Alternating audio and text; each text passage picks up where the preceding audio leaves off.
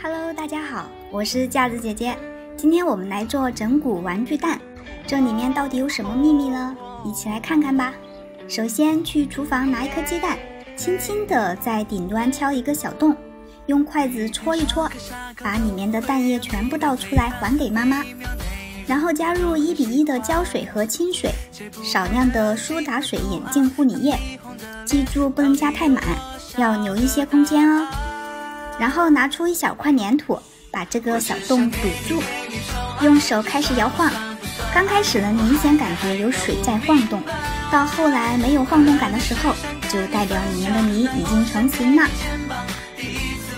可以画上可爱的小表情。那么好看又有趣的整蛊玩具蛋就做好了，送给小伙伴恶搞。